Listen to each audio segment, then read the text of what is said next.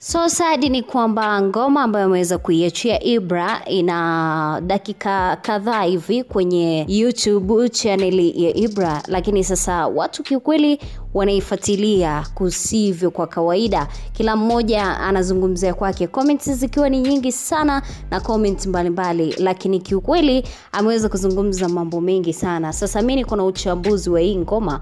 Kwanza kabisa nataka nikujuze tu ya kwamba kiukweli alichokizungumza Ibra hashtag ya kuhusu ni mambo mengi ambayo ameyaeleza na kuna pati mbalimbali. Kwanza kabisa amezungumzia kuhusiana na maisha ya rivani yeye pamoja na Faima, lakini pili akaja akazungumza kuhusiana na mambo ya kudukua kwenye YouTube channel, kwenye mitandao, kuwalipa media mbalimbali ili kupromoti WCB, lakini pamoja na yeye pia na albamu yake ile Sound from Africa. Lakini sasa akaja pia akazungumza tena mara nyingine katika hiyo hiyo ngoma na vesi nyingine tena kuhusiana na mtoto wake pamoja na Faima. Kwa hapo tunaweza tukasema kamzungumzia mtoto wa Faima, lakini kazungumzia maisha ya Faima, lakini pia akaweza kuzungumza maisha ya kimziki, yani huko ambako tunaelekea na mengine mengi ambayo yako behind the scene ambayo sisi hatuyafahamu.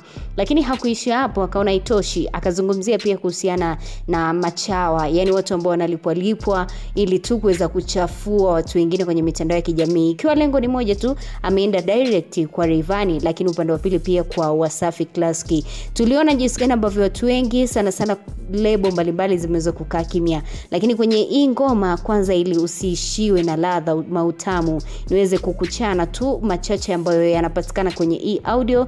Ni audio fupi sana, audio yenye almost dakika tatu kasoro kama sekunde kumi na kitu ifike tatu kamili kama sekunde kumi na nne lakini ni audio ambayo ina mambo mengi ndani ya dakika mbili na sekunde 46 e bana ibra ameweza kuzungumza kwanza vesi wa kwanza amesema kutaka kulea huku unalelewa lazima uvunjie watu wazima heshima. Unajifanya unakea wakati umemtelekeza faima. Unaona ndivyo ambavyo ameanza. Yaani hiyo ni mwanzo tu na ndio maana nikakueleza kwanza kabisa kwenye vesi ya kwanza ana vipati tofauti tofauti. Ingoma ina vesi nne na kiukweli kwenye hizi vesi nne basi zina pati tofauti tofauti. Pati ya kwanza nimekusogezea nimekueleza ameweza kumchana Rayvanny kabisa ya kwamba kiukweli ukitaka kulea huku unalelewa umeelewa? Yani kwamba ukitaka kulea na wakati wewe mwenyewe unategemea sehemu lazima tu utavunjia watu wazima heshima ili usikose kwenye yule ambaye anakulelea. Ndivyo ambavyo amaanisha Ibra. Lakini pia akasema kabisa ya kwamba heshima e, unajifanya unakea wakati unamtelekeza Faima ama umemtelekeza Faima ambaye ni mwanamke ambaye ameweza kuzaa naye yule mtoto wake, na tumeona kiukweli alichokizungumza Ibra, tunaweza tukaja kwa upande wa pili tukasema kwamba amezungumza fact ama ukweli, kwa sababu tuliona hata wakati anawazindua Next Level Music aliweza kuulizwa kuhusiana ni kwa nini hajaweka picha ya mama mtoto wake ambaye ni Faima kwenye studio ile ama kwenye ile lebo kwenye mjengo ule, lakini akaweza kuweka watu wengine kabisa, na hii ikawa ni mbaya, lakini hakuweza kujibu wala hakuonekana kama alifurahia hilo swali. Sasa tukiendelea na vesi ya pili ambayo hapa anazungumza, achana na walokutangulia, weka heshima. Unaweza WCB wakakutimua, Konde Gang ukasainiwa. Vita alianza baba yako, unaona vita ya mjeshi utaweza kushindana naye, na kati hata baba yako haiwezi, na mjeshi ndiye alianza vita. Ndivyo ambavyo vesi ya pili amedondoka na kuzungumza, na kiukweli hapa amemaanisha kabisa kwamba kiukweli anatakiwa heshima alomtangulia, kwa sababu hajui kesho yake, na akasema kabisa kwamba kweli yuko Wasafi Classic Baby, lebo kubwa, lebo ambayo kiukweli tayari imeshajitengenezea mapana kwenye mitandao ya kijamii, lakini nje ya Tanzania, Afrika na mabara mengine ya Ulaya. Lakini akumbuke tu kwamba haya mambo yanaweza kabadilika, lolote linaweza likatokea, lakini akaja Konde Gang na akasainiwa fresh tu na kila kitu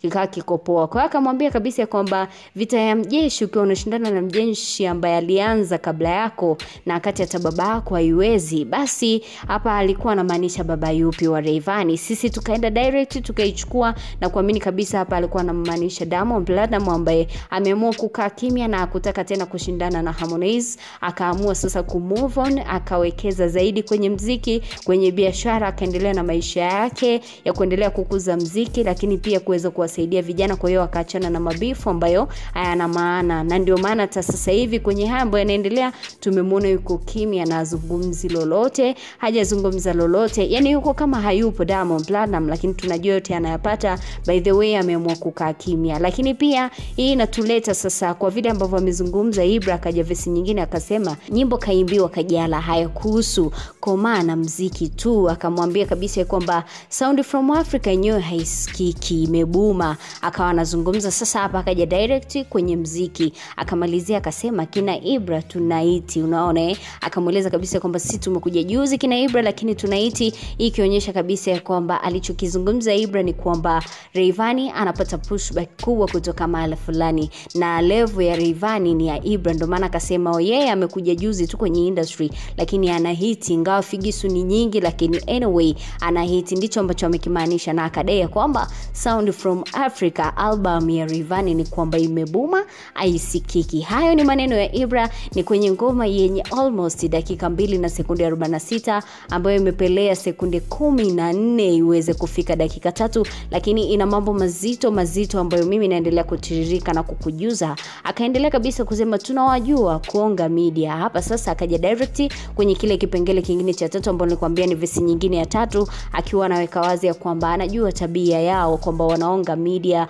wanawalipa watu na wana machawa wao wanawapromote kila siku. Na ndio maana si tunaona kama hawaondoki kwenye midomo ya social media na watu wengine kuendelea kuwafuatilia kwenye media mbalimbali. Lakini ukweli ni kwamba wanaonga media na pia akazungumza kuhusiana na kwenye youtube huko kwamba kuna namna ambavyo wanawabana side b. Ndivyo ambavyo amezungumza ibra akasema kabisa kwamba wanajua lakini akaeleza kabisa mwambie mzee kipara hizo ishu zake za kwenda kupuliza sisi tunazifahamu lakini hatumwanyi kama hivyo. Hatujajua mzee kipara ni nani lakini tutajiongeza zaidi yamkini kawa tunamjua pia. Lakini ndio hivyo sasa kiukweli akaja tena vesi ya mwisho ya nne. Akasema akamshauri sasa hapa akaja direct ukiachilia mbali kiitikio ambacho anasema kabisa kwamba mapenzi ya kajala hayakuhusu na harmonize lakini pia yeye kuweza kumpigia video call pamoja na mtoto wake hayakuhusu kwa sababu wao wanajua wametoka wapi. Kiukweli hakutakiwa kuingilia alikuwa anatakiwa kubase na mziki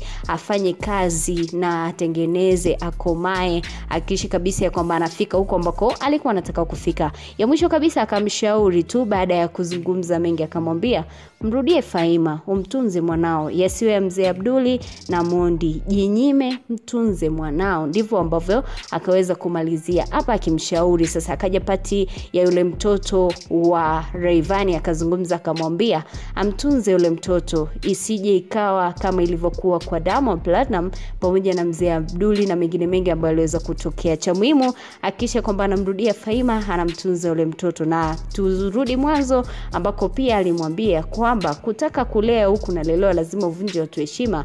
Unajifanya unakea wakati umemtelekeza Faima. And that is the new song. Na ndio ambayo yako ndani ya audio ya haya kuhusu ambayo Ibra ameweza kuitoa na alikuwa ametuahidi. Neno ni moja tu hashtag ya kuhusu na kiukweli sisi tu tunatazama. Halafu insta kumekucha. Mambo yanazidi kuwa hot lakini tumesikia mambo mengi sana ambayo sasa hivi yanaendelea na machache kati ya mengi mimi nimekusogezea. Huo ni uchambuzi tu wa mengi ambayo yameendelea ndani ya hiyo ngoma hashtag ya kuhusu ambapo tunaweza tukasema Harmonize ameamua Ibra. Basi ndio azungumze mengi lakini yeye alimwambia Kajala akanyamaza. Alafu sasa Ibra naye amekuja ameamua kumtetea bosi wake. Sie tuko tu tunasema hashtag ya tuhusu lakini subscribe channel yetu ya youtube turn on notification Sisi kazi yetu ni kukuhabarisha. Uendelee kuhabarika na ujue nini ambacho kinaendelea sana sana kuhusiana na wasanii update mbalimbali ulimwenguni kote na zile breaking news ambazo ziko hot. Kazi yetu si ni kukujuza kukupasha na kukuhabarisha zaidi. Bye bye